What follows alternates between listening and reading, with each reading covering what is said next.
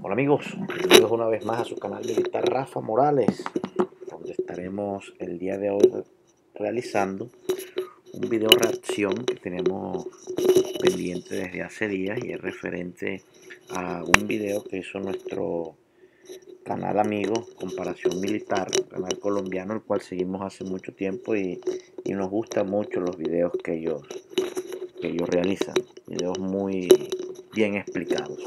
Entonces vamos a, estar mirando el video de hoy, que es una comparación acerca de cómo sería o si Colombia más bien podría invadir al Ecuador, la República Hermana del Ecuador. Entonces vamos a estar realizando una comparación de terrenos, de armas, que para mí él las hizo y me parecen bastante buenas, bastante buenas y por eso quise hacerle la reacción a este video. Entonces comencemos los invito de todas maneras antes de comenzar a suscribirse al canal. Yo estoy suscrito desde hace tiempo. Comparación militar, canal colombiano. Entonces comencemos.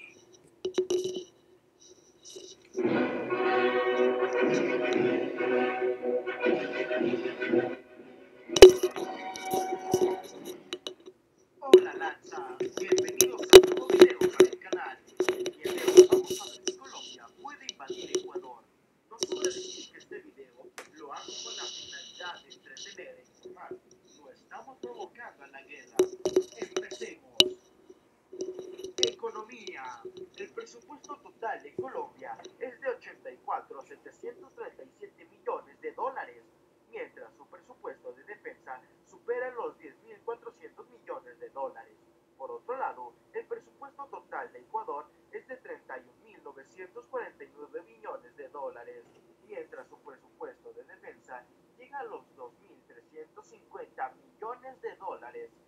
Bueno, ahí ya comenzamos a ver una clara diferencia entre Colombia y Ecuador en cuanto a sus presupuestos. Colombia tiene casi cuatro veces el presupuesto en defensa lo que tiene Ecuador, lo que eso se ve reflejado en el pie de fuerza. Colombia tiene un ejército muchísimo más grande, por supuesto que tendría que tener un gasto en defensa muchísimo mayor. Sigamos.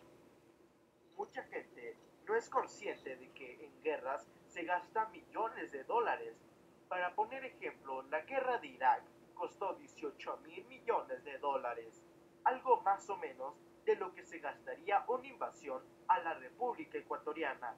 Hablando económicamente, Colombia sí podría invadir Ecuador. Bueno, ahí, ahí en la parte económica, entonces se ve que Colombia tiene una ventaja, una ventaja en tamaño, lo que le brindaría una ventaja también en sus recursos. Entonces, es un tema muy importante que él lo toca y, casi nadie lo tiene en cuenta. La mayoría de la gente lo único que hace es coger una lista y dice, este tiene cinco aviones, este tiene seis, gana el que tiene seis. Es lo que hace la mayoría de la gente. Entonces no se pone a ver los recursos logísticos y todo este tema que también es verdaderamente importante. Vamos a ver ahora el tema de los aliados, a ver qué nos dice. Las fuerzas militares de Colombia tendrían como aliado principal a los Estados Unidos igualmente de Corea del Sur, Israel, Chile, España, Brasil y... Bueno, aquí en los aliados, ya esto sí es muy subjetivo, ya esto es lo que él cree. Yo también podría poner aliados aquí. A la hora de la verdad uno no sabe. Lo más seguro es que ninguno de esos. De pronto pensaría yo que casi nadie tiene, toma ese aliado, pero por cuestiones estratégicas y geográficas, pensaría yo que el aliado que mayor necesitaría Colombia sería Panamá y es por el tema del canal para poder moverse libremente en las costas de los dos océanos que tiene Colombia y eso le serviría muchísimo en, el caso de, de, un conflicto, especialmente por el tema táctico.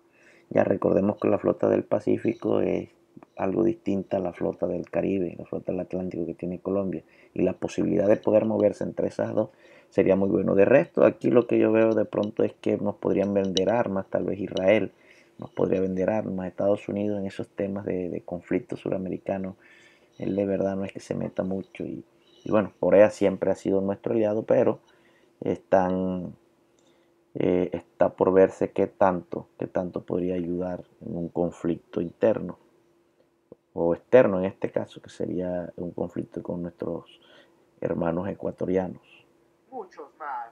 Por parte de Ecuador tendría apoyo de Reino Unido, China, Venezuela, Nicaragua, Bolivia y muchos otros. Bueno, aquí en el tema este, yo recuerdo hace unos años en el gobierno de Álvaro Uribe que tuvimos el problema con el bombardeo este que se le hizo a Raúl Reyes y, recuerdo que Ecuador lo primero que hizo fue que llamó a, Chávez, que fue la vez esa que Chávez comenzó a amenazar, ¿no? Que les voy a mandar los Sukhoi, ¿qué tal? Que por cierto, esa amenaza continúan con los que le siguen a Chávez. Cada vez que uno tiene un problema, esos, esos 20 Sukhoi sí han servido, ¿vale? Para amenazar a Colombia. Pero bueno, eh, actualmente en la política actual del Ecuador no sé qué tan cercanos sean a Venezuela y no sé qué, pueda pasar. Lo que sí sé es que en cualquier evento que pase contra Colombia, el primero que va a salir a, hablar y amenazar va, a ser Venezuela. Eso sí, no, no tengo la menor duda. Sigamos. Experiencia en combate. Las fuerzas militares de Colombia cuentan con 30.000 soldados con 185 mil policías. Colombia es mundialmente conocido por sus enfrentamientos contra las guerrillas y batallas cuerpo a cuerpo. También Colombia tiene muy buenas fuerzas especiales, pero eso ya lo nombramos en un anterior video. Por su parte, bueno, bueno, aquí en cuanto a Colombia, 300 mil quiso decir, tiene 300 mil el pie de fuerza, 300 mil militares y más de 100 mil policías. Hace poco subimos un video que hablaba acerca de unos grupos policiales, en este caso fue el Comando Jungla, para que la gente que no, no conozca Colombia y su fuerza policial entienda que la Fuerza Policial de Colombia también tiene un componente militar, que tienen entrenamiento militar, armas militares. Entonces hay que tenerlos muy en cuenta ellos. Tienen un entrenamiento casi tan bueno como el que tienen los comandos militares. O sea, los comandos jungla son comandos excelentes que con una formación militar en infiltración y exfiltración. Entonces es, una policía diferente, no es la policía que pensaría uno que estaría armada con un revólver. No, no, no, no. Entonces del lado de Ecuador vemos que ya cambian los números, ya casi es la mitad, un tercio, para ver, dos tercios más o menos, casi dos tercios del ejército y la policía sí es una cuarta parte teniendo en cuenta que la policía de Ecuador no tiene el mismo entrenamiento militar y ni las mismas armas, ni el mismo componente de transporte, porque los, policías de Colombia también cuentan con helicópteros arpías y todo ese cuento para hacer sus... véanse el video jungla para que vean de lo que le estoy hablando. Tiene 167 mil activos en su ejército. Mientras tanto, tiene cerca de 49 mil policías, pero necesita al menos 57 mil. Según las Naciones Unidas, la última guerra de Ecuador fue la CENEPA en 1995, entre la frontera con el Perú. Poder militar. Colombia tiene 18 casas KFIR con 53 aviones de ataque a tierra, 33 aviones de entrenamiento, 86 aviones de transporte, 355 helicópteros de transporte y 2 helicópteros de combate. Ecuador tiene 11 casas Bueno, mire, aquí se ve ya una, una ventaja grande. Ya Colombia en cuanto al poder aéreo es superior a Ecuador. Tienen prácticamente el doble de casas de combate y adicional a eso mucho más eh, avanzados en el tema de la modernización y la repotenciación de estas naves. Tiene la flota de helicópteros más grande de Sudamérica y no solo es tenerla, sino que adicional a eso cuenta, cuenta con un muy buen backup y es su mantenimiento. Colombia tiene los mejores técnicos certificados a nivel latinoamericano en cuanto al mantenimiento, reparación y modernización de estas aeronaves. Entonces, eh, que ya están, que ya están acostumbrados a, repararlos, a, mandarlos, a tenerlos a punto para cuando se necesiten por el conflicto que Colombia maneja diariamente, diariamente. Quizás mientras están viendo este video en algún momento del, país hay un helicóptero eh, llevando tropas. Atlas, Cheta, 9 KFIR. Estos KFIR ecuatorianos, a diferencia de los colombianos, son versiones C10. Por otro lado, el colombiano es versión C60, más potentes. Tiene 11 aviones, ataque a tierra y 70 aeronaves de entrenamiento, 23 aviones de transporte, 66 helicópteros y no tiene helicópteros de ataque. Teniendo estos datos, pues vemos que la Fuerza Aérea Colombiana vence a la ecuatoriana. Indudablemente, indudablemente estoy de acuerdo con mi amigo de comparación militar. Eh, en esta comparación, eh, la Fuerza Aérea Colombiana es muy superior, muchísimo más superior a la Fuerza Ecuatoriana. Ahí ya hay otra ventaja. Ya lleva dos ventajas Colombia, vamos a ir anotando. Entonces, por el tamaño, la población, tamaño del ejército y economía, va ganando. Ahora en la parte aérea, indiscutiblemente muy superior. Van dos, dos puntos para Colombia en la, en la comparación. No tiene tanques, posee 118 vehículos de combate, 469 vehículos de transporte, más 800 unidades del UMBI. Tiene 13 artillerías autopropulsadas, 66 artillerías de cohete, 120 baterías antiaéreas de corto alcance y 160 obuses. Ecuador posee 108 tanques AMX-13 con 99 vehículos de combate, 145 vehículos de transporte. Ecuador tiene 15 artillerías autopropulsadas, 26 lanzacohetes múltiples, 40 baterías antiaéreas de medio alcance y 120 obuses. La Armada colombiana. Bueno, en este punto, bueno, en este punto Ecuador tiene una leve ventaja en cuanto al tema del poder de fuego. Eh, habría que ver geográficamente qué tanto le beneficiaría esa ventaja, cómo la podrían utilizar, pero sí tiene ventaja en cuanto al poder de fuego, ya que Colombia lo que cuenta son con sus carros de combate Cascabel, que son cañones de 90 milímetros. Ecuador sí tiene, tanques propiamente dicho. Eh, el ejército le ha dado prioridad más bien al tema de, de los blindados. Los blindados, recuerden que el M1117 el Lab 3 son de los, de los últimos blindados que ha comprado Colombia. Vamos a ver este año, está en un proyecto de compra, proyecto de compra de más M1117. Vamos a ver en qué va, ya que para el primer trimestre de este año se esperaba la llegada. Pero sin embargo, con lo que hay actualmente, lo que tienen ambos países, Ecuador tiene ventaja de poder de fuego terrestre. Estamos hablando de lo que es blindados y artillería. Vamos a darle entonces el punto a Ecuador, serían dos puntos a uno.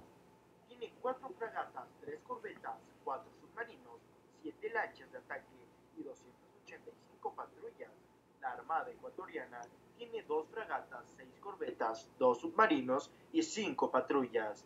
Aquí pasa algo curioso.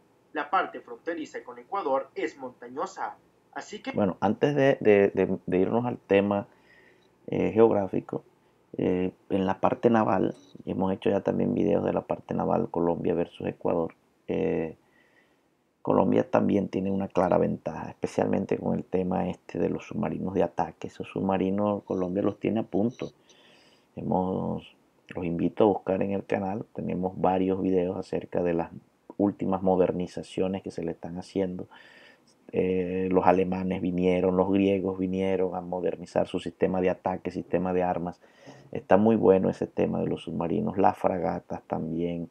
Habría que también analizar que las OPB por su cercanía también podrían tener bastante eh, influencia. Entonces, el punto eh, oceánico, el punto oceánico por poder de fuego, por las fragatas misilísticas, corbetas misilísticas, números, eh, en cuanto al oceánico para Colombia. Para Colombia, entonces diríamos tres puntos a uno.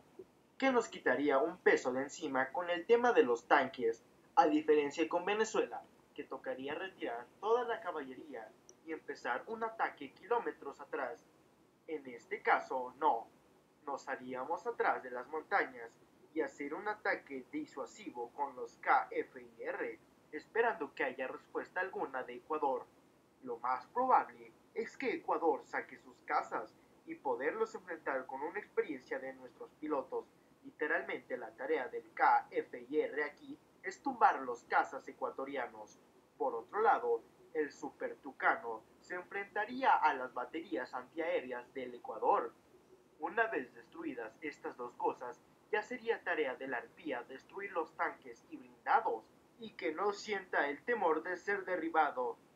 Yo porque dije que las tropas tenían que hacerse detrás de las montañas por una Bueno, mira, y este, el hombre plantea un escenario posible de muchos escenarios también. Como les digo siempre, todos estos escenarios de comparaciones y de cosas son, son muy subjetivos. Esto es lo que cada quien piense. Entonces cada uno puede imaginarse también un escenario. Me gusta mucho el que él plantea me gusta mucho, es una buena táctica, especialmente todas esas zonas selváticas, fluvial. Colombia tiene, yo creo que de Sudamérica, la mayor flota de lanchas eh, armadas, lanchas pesadas, las PAF, lanchas livianas.